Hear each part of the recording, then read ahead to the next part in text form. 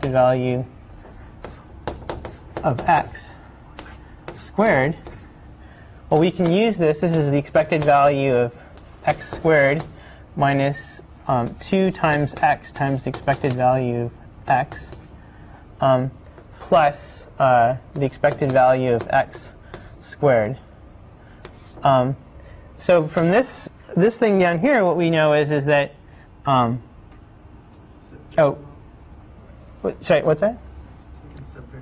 Yeah. So we can separate them out. So the expected value of x squared minus 2 times um, the expected value of x um, ex, which actually, um, if you think about it, this is just a constant factor. And um, if you go back here and you, you know, you look at this, if, if I put a 5 in here to this particular thing, um, if I ask you for uh, x expected value of x, if I, in other words, if I put a particular value 5 in here, it would factor out. So in fact, um, this is basically oh, plus expected value of um, expected value of x squared. That in fact, um, this is the expected value of x squared. That doesn't change. But this is, you know, minus 2 times the expected value of x, which I pulled out, times the expected value of x, but that's just the expected value of x squared plus um, e, uh, the expected value of a constant, which is that constant. Um, and so basically what this is saying is that, again, independent of the type of distribution, um, if you want to compute the variance of something, it's possible to simply uh, take compute what the expected value of x squared is minus the it's minus the expected value of x the square of the expected value of x and you've computed the um, variance.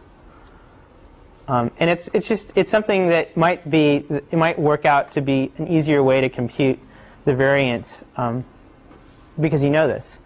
Um, so the so the next question is uh, given that uh, Let's see what's a good, maybe right over here is a good place to start. Um, is the next problem, which is um, computing the expected value of x plus y. Um, that's equal to the expected value of x plus y um, uh, minus the expected value of x plus y um, and I want to compute the square of that, that's equal to um, the expected value of um, x plus y squared minus 2 times the expected value of x plus y um, time, uh, sorry,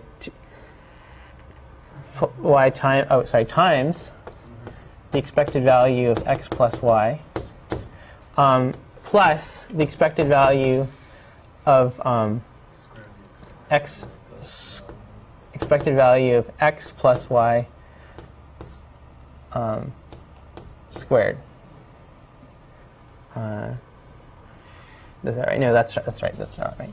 It's the expected value of the expected value of x plus y in that quantity squared. Okay, sorry about that. Uh,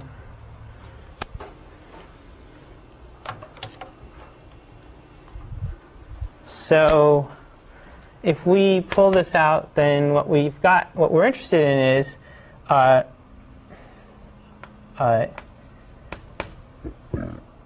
uh, let's see here. Uh, if we've got the expected value of x plus y, uh, we can sorry we can we can do each of these individually now. So that's equal to the expected value of x squared um, plus the expected value plus the expected value of 2xy plus the expected value of y squared plus 2 times the expected value of, um, you know, we can pull this out again, x plus y. What's that? It's minus. Oh, I'm sorry. what am I? Thanks. Minus 2 times the expected value of, um, I guess we can uh, split this up again, which is, it's the expected value, well, let's see, x plus y times um, the expected value of x plus y, again, where I pull those two things out, um, plus um, the expected value of, um, sorry, yeah, uh, the, exp- sorry, the, right, so the expected value squared of x plus y um, squared, let's see, yeah, value of x plus y squared. Um, But you went from, you squared the expected value. oh, did I do that? Let's see here. Shouldn't it just be e, the expected value squared of x plus y? Expected value squared of x plus y. It's Yeah, constant. that's right. Sorry.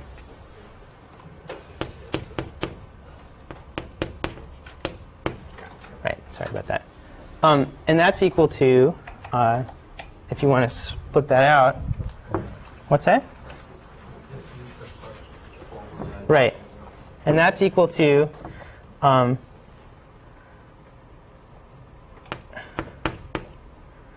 was it, uh, Combines with. Right. x plus y. So um, that's equal to the expected value of x squared plus 2 times the expected value of x times the expected value of y plus the expected value of y squared, right? All right, so um, uh, let's see here. Uh, where was I going with You this? could have condensed those Yeah. two down first. Yeah, I'm just trying to hold on. Because now you've made life more difficult. Yeah, let me think here. Uh, Because all of that condenses down to the expected value. Right. Minus one of the expected value of x plus y. right, except I guess what I what I was trying to get at was um, uh, let me think here. Uh, I want the uh, let me think about this. Uh,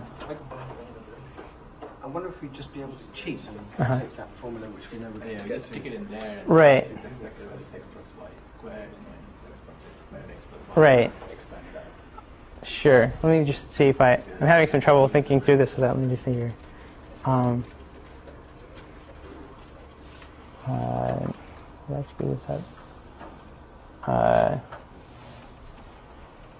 so I'm trying to get um, to. Uh, well, I, let's just go out and do this. Let's see.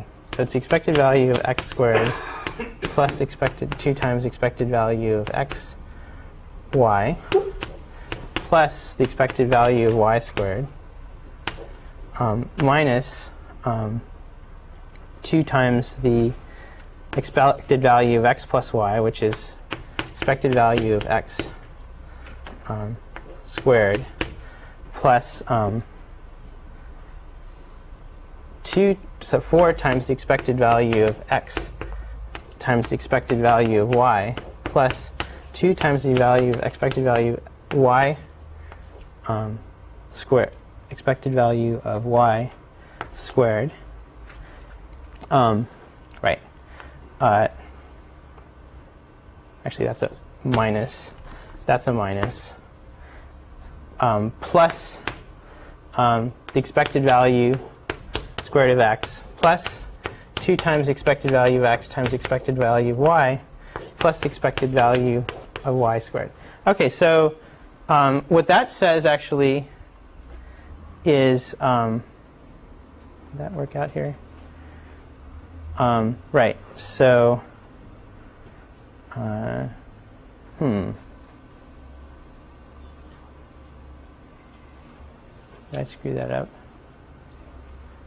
Where are we trying to get to here? I was trying to actually get to this, right, which is that um, given that expected value of x comma y equals expected value of x times the expected value of